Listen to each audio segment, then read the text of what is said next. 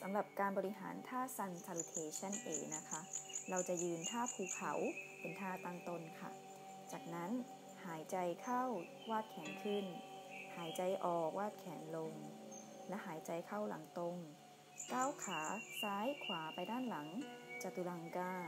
upward facing dog หายใจเข้า downward facing dog หายใจออก และกำหนดลมหายใจ 5 ลมหายใจค่ะ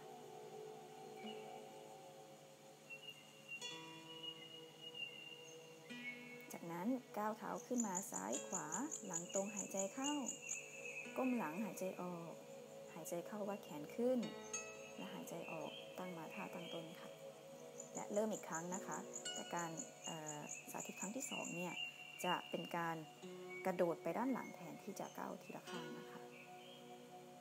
สามารถเลือกทำได้ตามสะดวก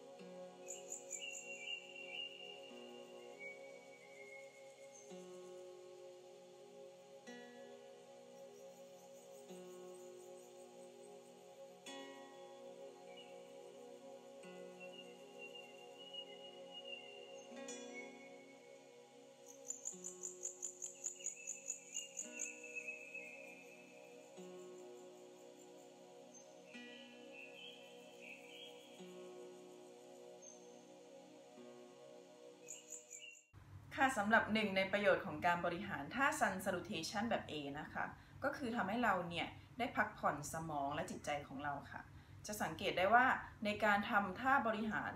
Sun Salutation แบบ A นะคะ เราต้องกำหนดลมหายใจเข้าออกให้สัมพันธ์กับการเคลื่อนไหวเป็นลำดับชัดเจนนะคะ ดังนั้นเมื่อเราเพ่งจิตของเราไปที่ลมหายใจอย่างต่อเนื่องนะคะ จะทำให้จิตของเราเนี่ยรวมอยู่ที่ปัจจุบันการ ทำให้สมองและจิตของเราเนี่ยได้พักผ่อนจากความเครียดที่เราคุ้นคิดถึงเรื่องราวในอดีต หรือการกังวลเกี่ยวกับเรื่องราวที่ยังไม่เกิดขึ้นในอนาคตนะคะ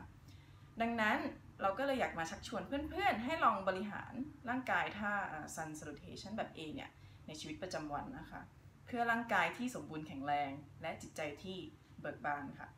สำหรับวันนี้ขอบคุณที่รับชมนะคะ สวัสดีค่ะ